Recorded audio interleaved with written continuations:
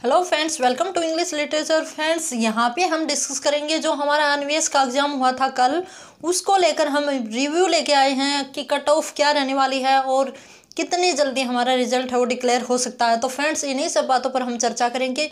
पहले हम widely discuss करेंगे कि जो एनवीएस का जो पेपर था, जो लिया गया था ऑनलाइन जो हमारा एग्जामिनेशन था, उसमें जो क्वेश्चन थे वो किस तरह के पुट किए गए हैं।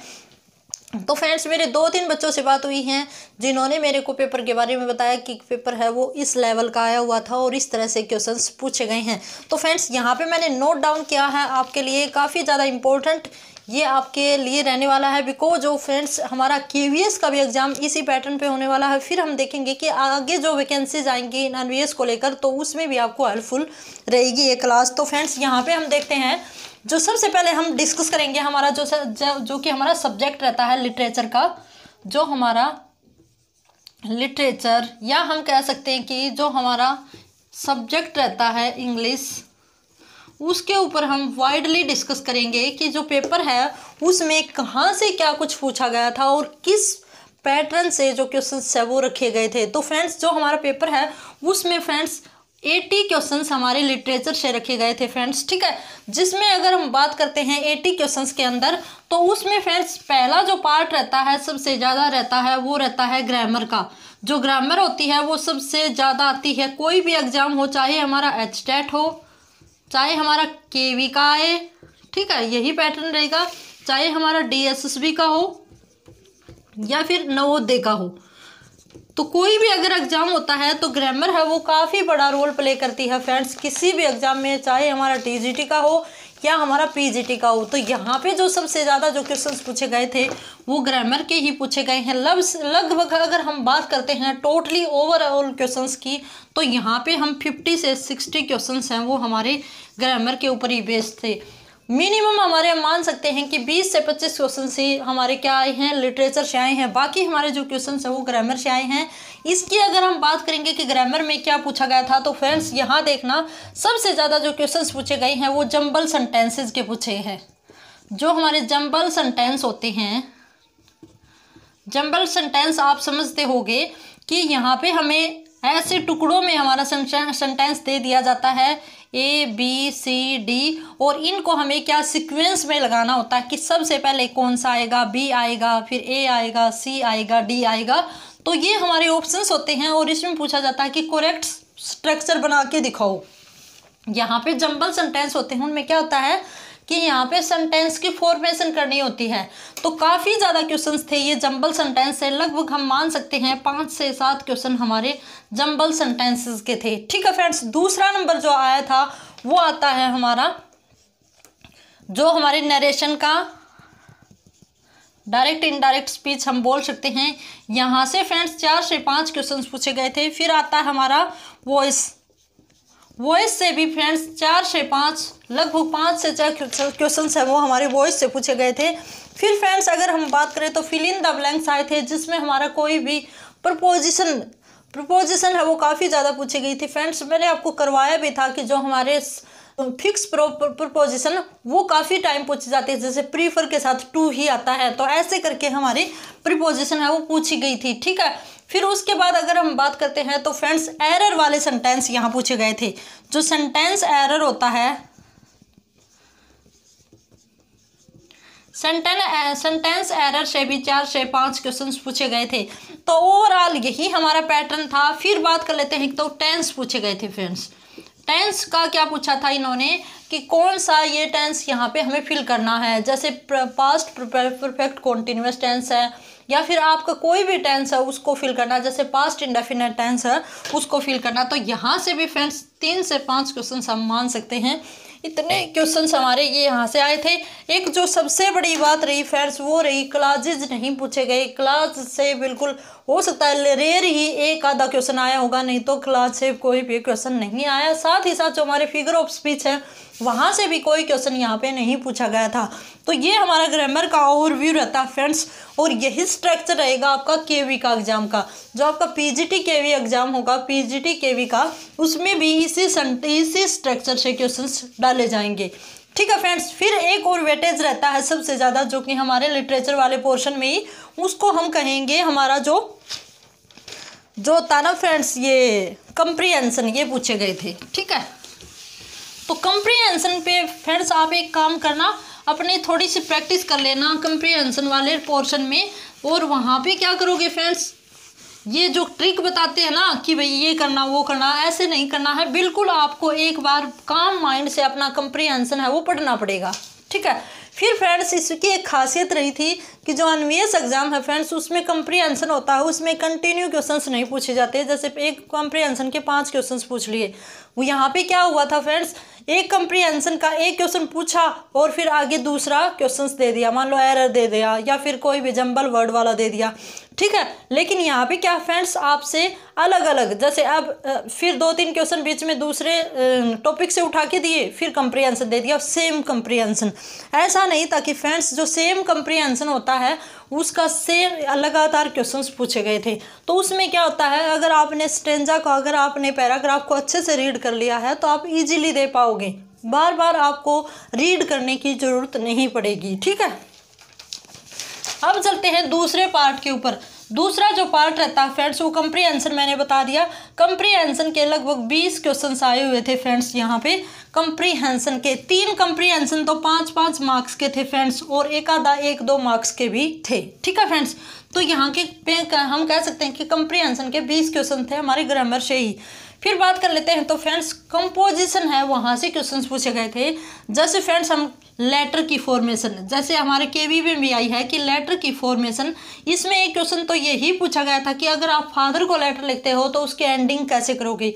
यूअर्स ओबिडेंटली लिखोगे यूअर्स फेथफुली लिखोगे, ऐसे लिखोगे, या फिर क्या जो स्टार्टिंग होगी लेटर की, उसकी कैसे स्टार्टिंग करोगे? जैसे डियर फादर लिखोगे फादर लिखोगे, या ओनली डियर सर लिखोगे, या फादर लिखोगे?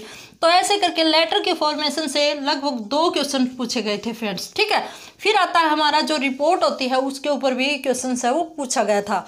तो ये आपको ध्यान में रखने की ज़रूरत है। सेम ही यही तैयारी आपकी सेम यही स्ट्रक्चर आपका केवी को भी देखने को मिलेगा।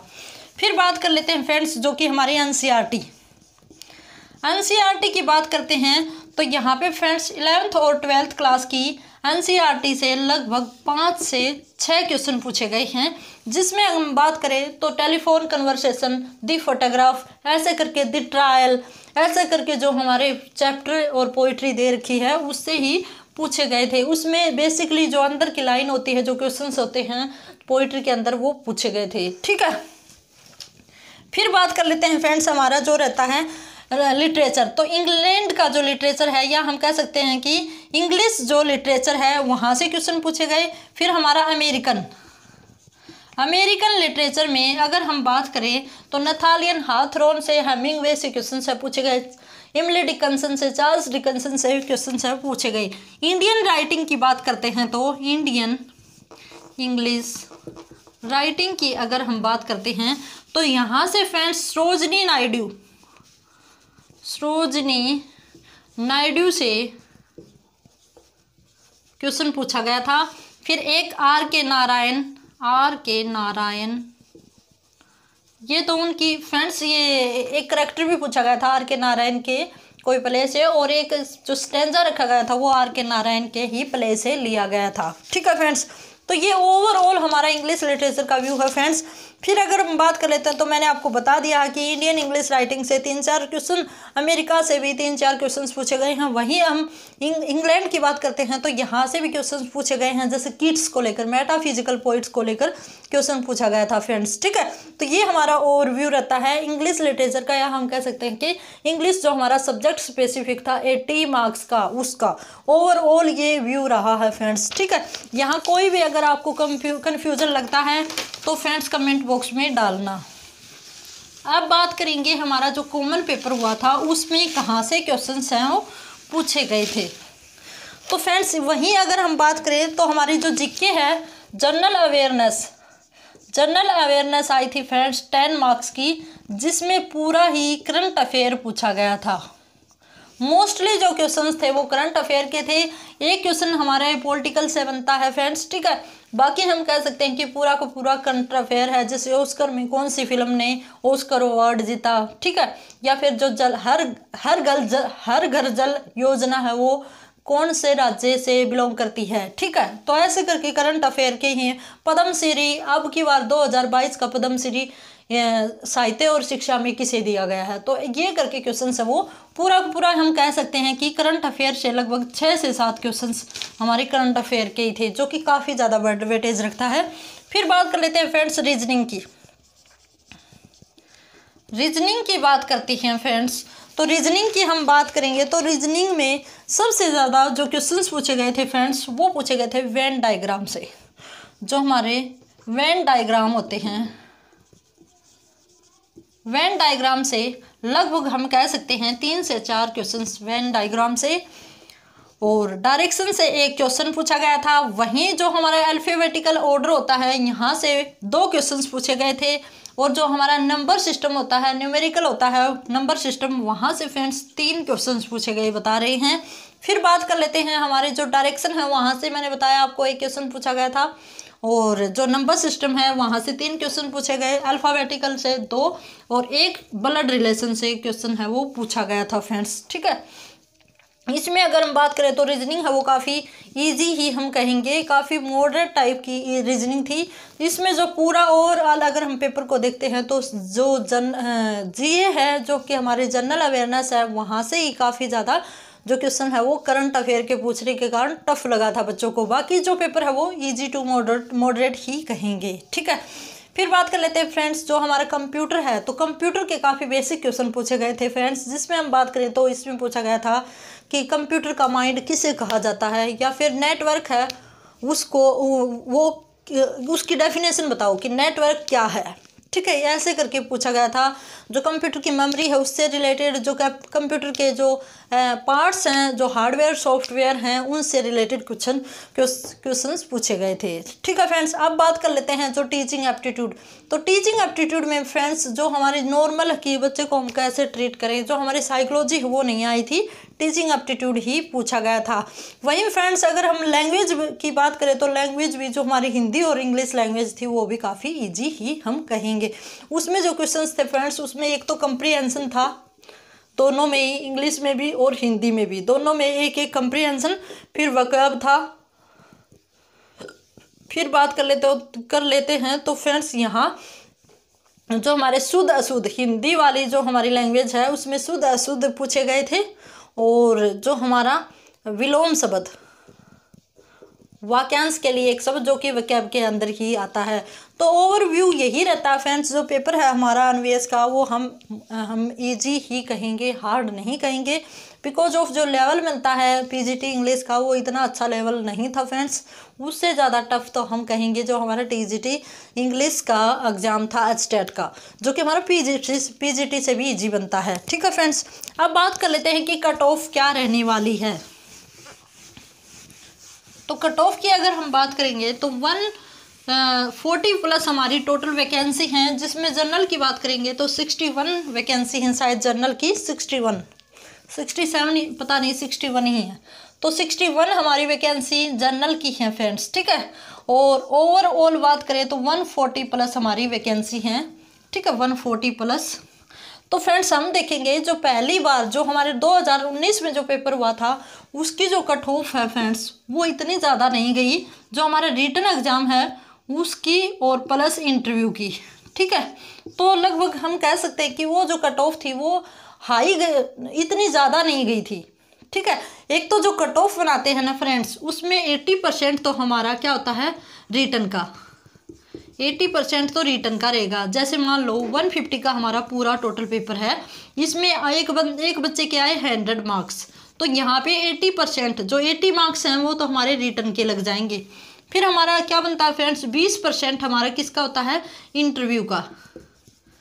इंटरव्यू का होता है। जिसमें फ्रेंड्स क्या पता, जैसे हमारे के वी है, उसमें तो सिक्सटी मार्क्स का हमारा इंटरव्यू है। लेकिन यहाँ हमें पता नहीं कि जो इंटरव्यू है, वो कितना होगा। ठीक है फ्रेंड्स तो यहाँ पे एटी और इसमें इंटरव्यू को प्लस करके मान लो इंटरव्यू में इन्होंने पंद्रह नंबर लगा दिए। तो यहाँ पे हमारी कट ऑफ़ है वो कितनी चली जाएगी? नाइन्टी फाइव प्लस एक बच्चा है उसका कितने नंबर आएँगे? नाइन्टी फाइव नंबर आएँगे। तो इसी वे पे हमारी कट ऑफ़ है वो लगेगी। तो फ्रेंड्स की बार जो हमारी कट ऑफ़ है वो हाई जाने की हम एक्सपेक्टेशन रखते हैं बिकॉज़ जो फ्रेंड्स जो हमारा पेपर है वो इतना ज़्यादा टफ नहीं था फ्रेंड्स ठीक है? तो हमारी जो पहली बार जो हमारी cut off sixty two sixty four point something रही थी, मान लो तो अब की बार जो कट ऑफ़ जाएगी फ्रेंड्स वो नाइन्टी टू हंड्रेड के बीच में रहने वाली है according to me because of friends जो हमारी वैकेंसी है, वो भी थोड़ी हैं, और जो पेपर है, वो भी इजी ही हम कहेंगे मॉडरेट ही कहेंगे फ्रेंड्स तो यहाँ पे जो हमारी कट ऑफ़ जाएगी, वो नाइन्टी टू हंड्रेड के बीच में जाएगी. तो फ्रेंड्स यही अपडेट थी आपके लिए. इसके अलावा कोई भी इन्फॉर्मेशन आपको चाहिए तो फ्रेंड्स कमेंट बॉक्स में कमेंट करिएगा। और इसी के साथ have a good day and best of luck